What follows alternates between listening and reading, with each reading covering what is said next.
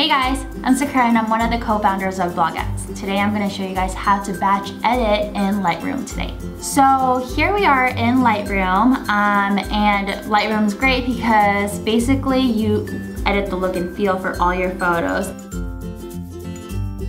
Today we're going to be editing all the photos that we took at um, our Sedona Bloguettes retreat. So when you want to edit um, a bunch of photos at once, it's typically something like this where I took a bunch of the same thing, but I wanted to get a different angle. So really the look and feel, I want to make it all look the same. It's going to be annoying to have to go in and edit every little detail um, for every single photo. So we're gonna start off by editing one of the photos. So let's do this guy. I'm going to add a preset um, that I like the most. Let's do that one, okay? Uh, we're going to go ahead and go on to the right hand side and make sure you guys are in the develop module in your Lightroom. I'm going to maybe lower the brightness just a tiny bit, um, add a little bit of contrast, do whatever you need to do um, to make your that specific photo looking pretty. Uh, perhaps let's make this guy a little bit more pink. So I'm gonna grab this tool, make sure the saturation tab's on, and I'm going to click, it's a little tool that I have, um, and just make it a little bit more pink. And let's see, maybe get rid of a little bit of the shadows.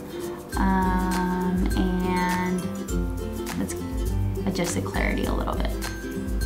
Okay, maybe make it tiny bit brighter. Okay, so say I'm really happy with the look and feel of this specific photo and I literally want to paste it on all the other photos. Here it is, here's the photo that I was just editing. I'm gonna hold shift and let's see, that's the last photo of it. So I'm going to click back, select this photo, hold shift, and select all those photos with the same product, same setting. Now all you have to do is go on the right hand side and hit sync. This window will open up and basically you're telling them exactly what you want to sync. So what tool, what um, setting you want to sync. And basically I want it to sync everything. So I, maybe if you don't want it to do the same crop, maybe uncheck crop, um, and just hit synchronize. And what it's doing right now, as you can see, is it's adding the same look and feel. Now, it's really important for you to go back and go through each and every one of those photos because every photo has a little bit of different um, brightness or exposure, contrast. So you wanna go back and edit to make sure that it looks, they all look really good. So let's filter through. That looks good.